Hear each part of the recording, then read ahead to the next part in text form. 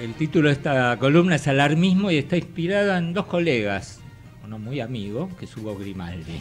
Después voy a decir quién es el otro, porque ayer lo escuchaba Hugo hablando de esto de los récords históricos del dólar. ¿viste? Hoy no es título el dólar porque arañó los 20 pesos, pero cerró 19.95.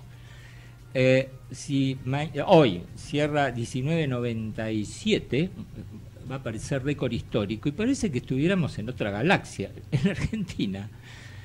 El precio del dólar puede ser récord histórico porque nunca llegó a 19.98 a 20, vamos a hacer números redondos. Pero también el récord histórico el precio de la nafta, el del pan, el de, no sé, el boleto de colectivo, aunque esté atrasado, porque vivimos en una economía que hace 10 años volvió a padecer una inflación de dos dígitos y muchos colegas nuestros parecen ignorarlos. Entonces, vos decías con toda razón, crear esta sensación de corrida bancaria pone nervioso a mucha gente porque lamentablemente la Argentina lo que eh, exporta es lo que se come básicamente, que son los alimentos. Y tiene un componente de importación muy fuerte que si crece la economía, crece todavía porque el 80% de lo que, de lo que produce la industria tiene componentes importados desde un 1% hasta el, no sé, 70%, como decíamos hace un rato, de, de los autos. O sea que el, dólar no es un, precio más porque influye en otros precios. Pero vamos a hacer unos numeritos, Hugo. Para, y después me paso al, al, segundo inspirador de esta columna. ¿Sabes cuánto aumentó el dólar desde el primero de enero, o sea, desde que empezó 2018? 5%. Y si lo tomamos desde el primero de febrero, o sea, hace exactamente una semana, este récord histórico que se perfilaba anteayer y ayer en, algunos portales de Internet, equivale a una suba del 0,1% en una semana. O sea que estamos dentro de un escalón más alto del dólar, pero sin que el dólar haya recuperado el retraso que acumuló el año pasado, donde durmió una larguísima siesta, como, los osos que hibernan, con algunos este, sobresaltos, como fueron antes de las PASO, eh, eh, bajó después de las elecciones y, se mandó ese rush en los últimos días del año.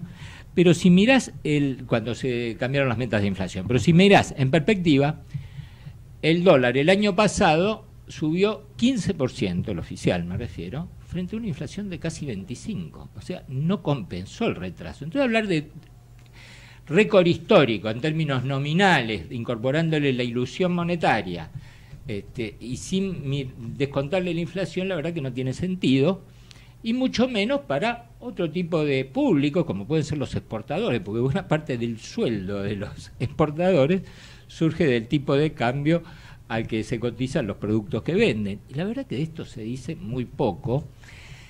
Y esto quizá eh, eh, va a incluir una autocrítica este, a muchos colegas nuestros, especialmente los de medios audiovisuales que acá me baso en mi segunda fuente de inspiración, que es eh, una definición de Enrique Llamas de Madariaga, que decía que los periodistas somos todólogos es una de las que más me gusta, definiciones de periodista que escuchó en mi vida, porque es cierto, afortunadamente en las últimas décadas en los medios gráficos se tiende una especialización e incluso una subespecialización. Ya no hay periodistas especializados en economía, sino también en energía, en industria, en finanzas, en negocios, y eso ayuda a conocer mejor el tema. Pero nuestros colegas de la radio y televisión que vemos cotidianamente saltan de un tema a otro en muchos casos sin, dominar ninguno. Y esto lleva a estas, a estas corrientes donde, bueno, todos somos especialistas eh, en dólar, de ahí pasamos a ser especialistas en endoscopía. Yo quisiera saber cuánta gente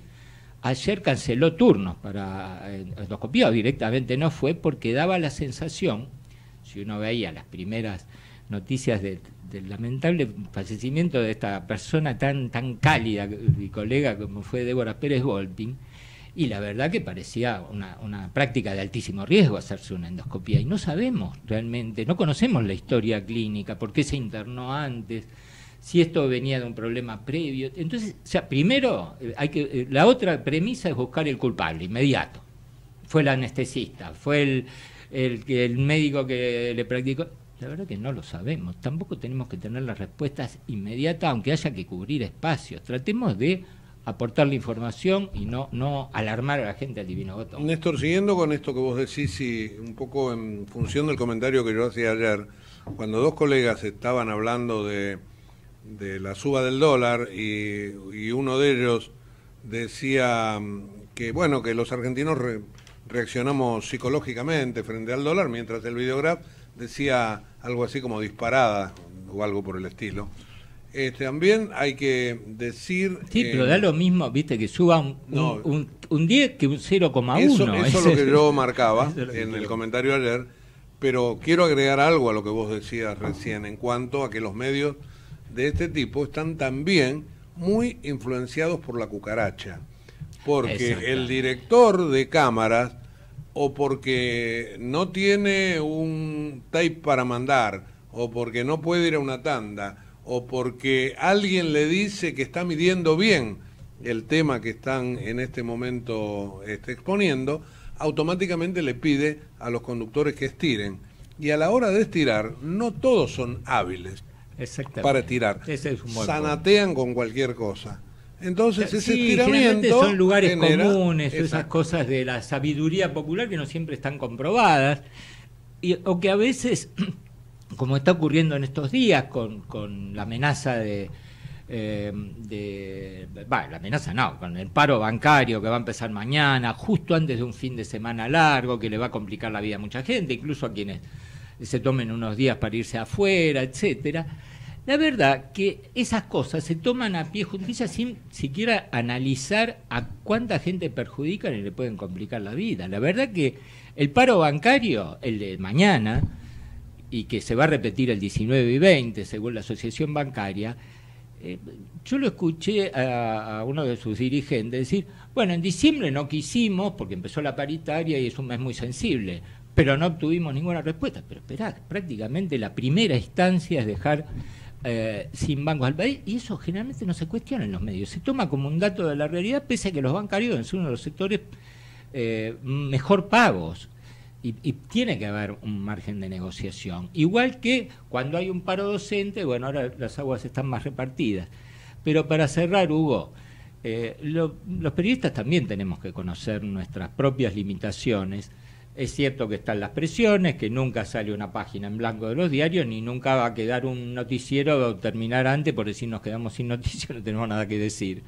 Pero tratemos de usar un poco la cabeza en esos casos y no repetir. Y para, como último ejemplo, yo creo que eh, fin del año pasado todos hicimos un curso de submarinismo porque no teníamos idea de cómo funcionaba un submarino, cuáles eran los riesgos, etcétera pero vos recordarás como yo que escuchamos algunas barbaridades como que fue chocado por otro submarino, que venían cosas espías, y la verdad que es incomprobable. Y esto, en realidad, ¿por qué lo traigo a colación? Porque nos afecta a todos, como la imagen eh, que tenemos los periodistas frente a la sociedad, que nuestro principal patrimonio es ser creíbles y no solo hacer ruido con títulos que duran como una cañita voladora.